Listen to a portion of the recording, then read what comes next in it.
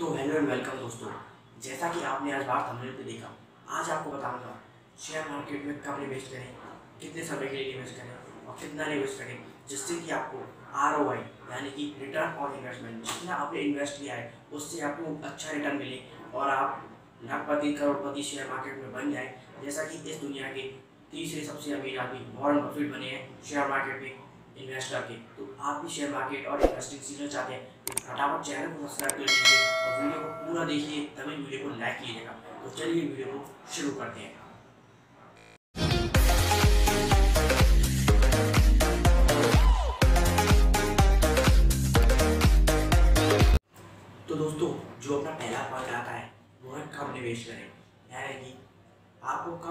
है जिससे आपको शेयर मार्केट में हाई रिटर्न मिले। यानी आर ओ आई आपको जो रिटर्न और इन्वेस्टमेंट वो आपको बहुत अच्छा मिले।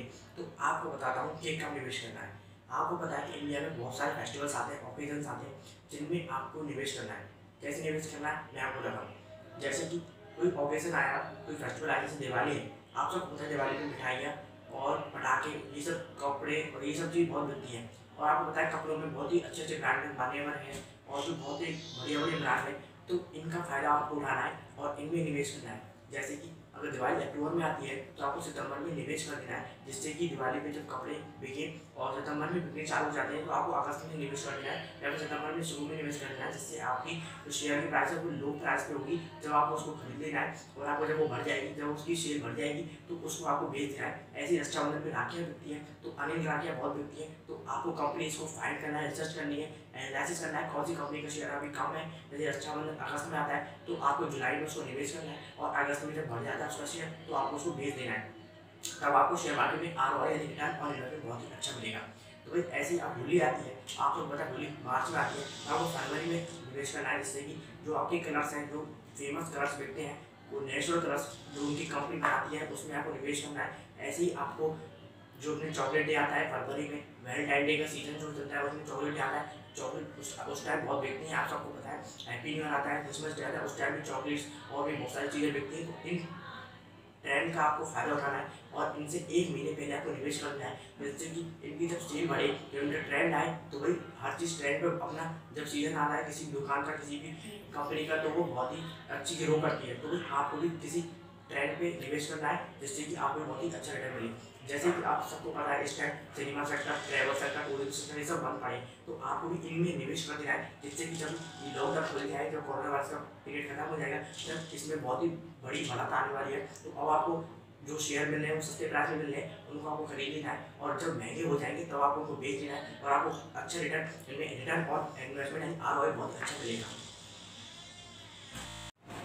तो जो अपना दूसरा पॉइंट आता है, वो है कितना निवेश करें।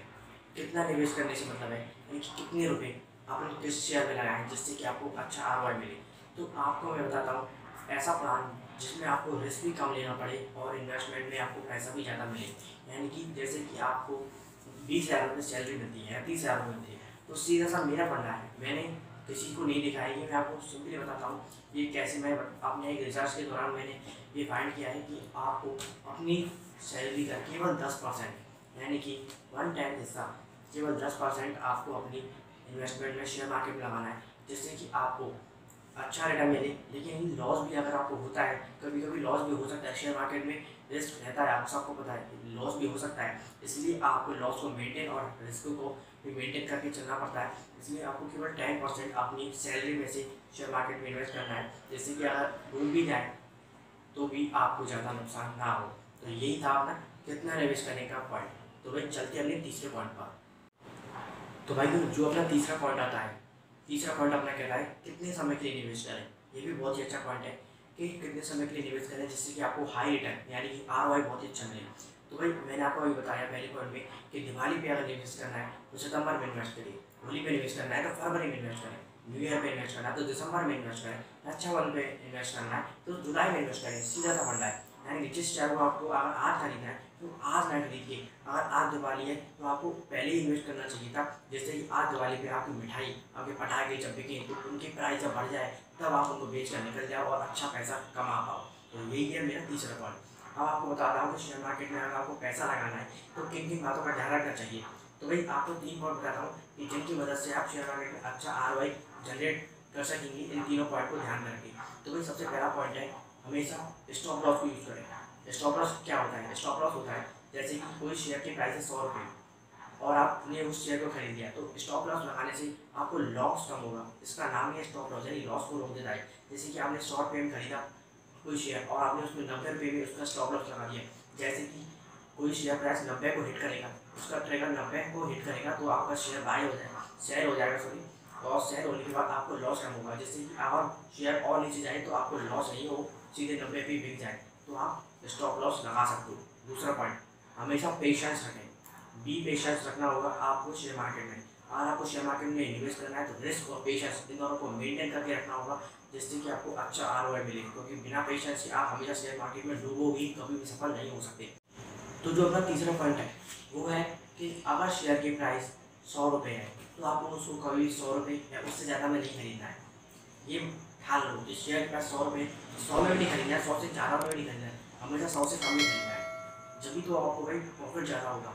जैसे कि सौ रुपये का कोई शेयर है, वो अस्सी रुपये में चल रहा है, क्योंकि तो उसका कोई सीज़न सीज़न नहीं आया अभी। जैसे कि दिवाली पे पटाखे बिकते हैं तो सितंबर में उसका ऑलरेडी आपको पता है ऑब्वियसली उसका शेयर का प्राइस आपको कम ही मिलेगा। तो आपको वही सितंबर में निवेश करना है, जिससे कि आपको शेयर का प्राइस अस्सी रुपये मिले और उस शेयर का प्राइस जब सौ से ऊपर हो जाए, दिवाली के समय पे, यदि सौ से एक सौ बीस हो जाए तब आपको उसको बेच कर निकल जाना है। नहीं तो जैसे कि दिवाली निकली और आपने बेचा नहीं तो उसका प्राइस फिर गिर जाएगा। तो आपको ऐसे निवेश करना है। तो ये आपको डिसअपॉइंट आपको मेरा मानना है। तो भाइयों, ये वीडियो मैं आपको यहीं खत्म करता हूँ। और आपको ये वीडियो कैसी लगी कमेंट करके ज़रूर बताना। मिलती है अपनी अगली वीडियो में। तब तक के लिए बाय चैनल को सब्सक्राइब कर देना, वीडियो को लाइक कर देना।